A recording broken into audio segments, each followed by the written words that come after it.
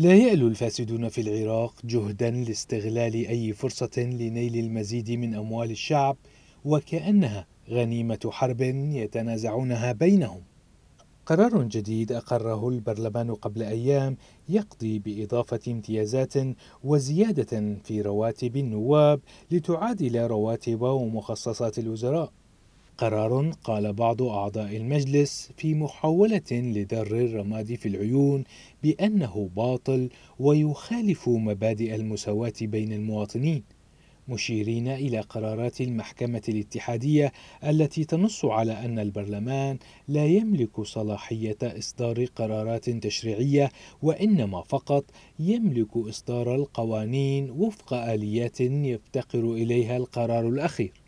وبحسب ناشطين فإن قرار البرلمان بزيادة رواتب النواب من شأنه أن يكرس الامتيازات للطبقة السياسية على حساب المواطنين.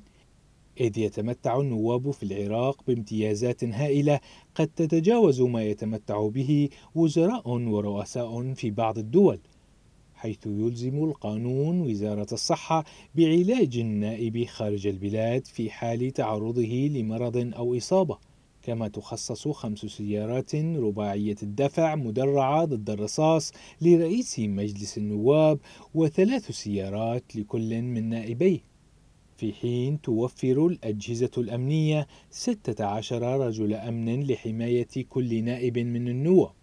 ناهيك عن الرواتب التي زادها القرار الأخير وكذلك المعاش التقاعدي مدى الحياة للنواب السابقين رغم أن مدة خدمتهم البرلمانية قد لا تزيد على أربع سنوات.